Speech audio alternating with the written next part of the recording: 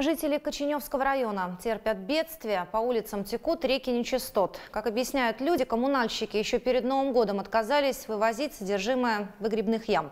Почему? Разбирался мой коллега Николай Сальников.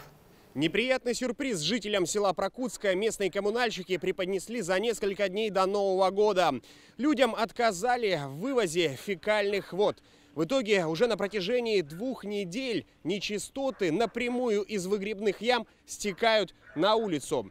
Сейчас удручающая картина практически не видна из-за свежевыпавшего снега. Однако от запаха никуда не деться. В коммунальной западне оказались тысячи прокучан. При этом речь идет не только о биологических потребностях человека, но и о гигиенических. Мы все живые люди, тем более праздники, у людей люди же не будут ходить за дом куда-нибудь. Да и туалетов здесь даже туалетов-то на улице нет.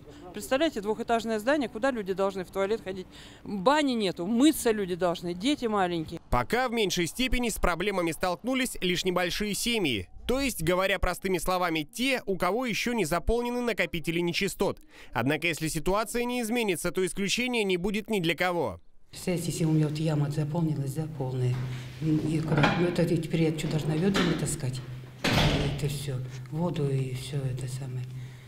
Ну, конечно, это не так, чтобы... Ну, если быстро решат это дело, допустим, несколько дней, то это ладно, нормально, потерпим.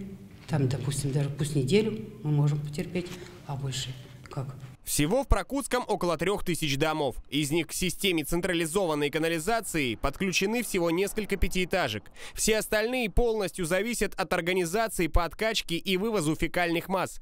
А главная причина коммунального коллапса в том, что руководство местных очистных сооружений отказалось принимать отходы жизнедеятельности у населения.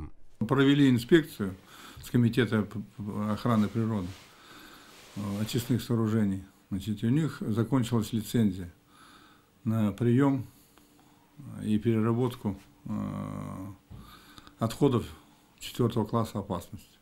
Разрешили этот вопрос, то есть э, делаем параллельно ну, лицензию, то есть они делают параллельно лицензию.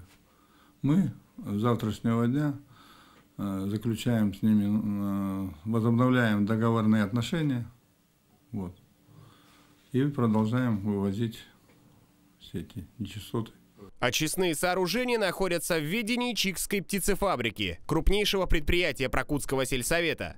По заверениям местных чиновников, вывоз отходов начнут в четверг. Редакция ОТС проследит за развитием событий. Однако открытым остается вопрос, почему инспектирование социально значимых объектов нужно проводить в момент окончания срока лицензии, а не заранее. Николай Сальников, Евгений Агеев, Новости ОТС.